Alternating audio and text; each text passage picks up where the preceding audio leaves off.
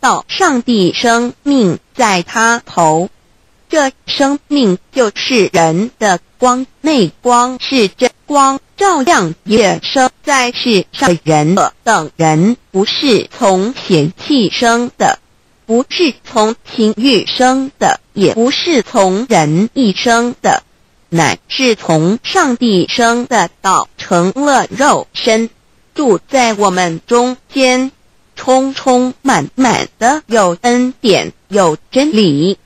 约翰福音一四九一三一四耶和华耶和华 Yav slash Yahweh slash. 的称呼，在原文之意义，乃是自有拥有的他，亦即不生不灭诸天之国与神之国，神为诸天之国之上的主宰，母居里天，在诸天之上为万灵真宰，诸天之国与神之国宇宙能量，整个宇宙充斥着舞动的能量。除了此舞动的能量，我们的宇宙一无所有。在某个时间点，